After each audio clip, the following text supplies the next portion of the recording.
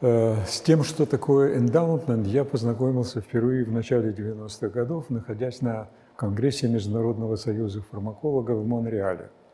Это была очень волнующая командировка, потому что в Монреале находится университет МакГилла, где Питер Милнер и Джеймс Солс впервые открыли феномен электрического самораздражения мозга, с которым я потом много лет работал.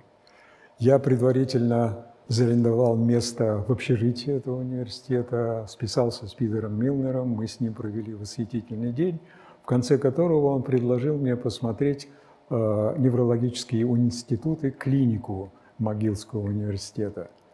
Подходя к этой клинике, я думал, что холл будет украшен лепниной, какими-нибудь скульптурами, картинами и так далее. Оказалось, что это было очень такое конструктивное помещение, все увешанное разного размера и стиля изображения постерами, в которых были отображены фамилии благотворителей, э, лица, которые пожертвовали те или иные суммы для создания этого института и его дальнейшего развития. И вот когда-то мне произнесли это волшебное слово «endowment», и Питер объяснил, что это такое, как это делается и для чего.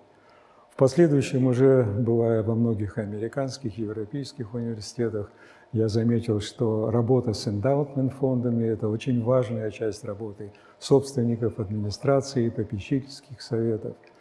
Потом, наверное, можно было и вспомнить, что и наш институт начинался, по сути дела, с таких пожертвований, и семьи Шанявских, и э, другие все жертвователи внесли средства, которые был создан женский медицинский институт.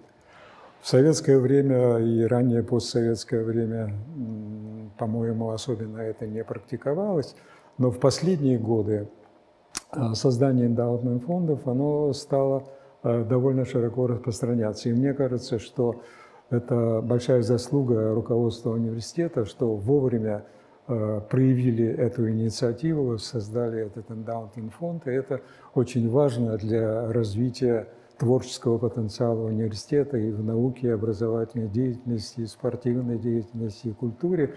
И простой расчет. Нас очень много, у нас тысячи студентов, преподавателей, э, врачей, у нас очень много выпускников, и каждый из нас, если даже внесет какую-то небольшую толику, это в сумме даст – достаточно большие э, средства для развития университета. Так что поддерживайте эндаутмент.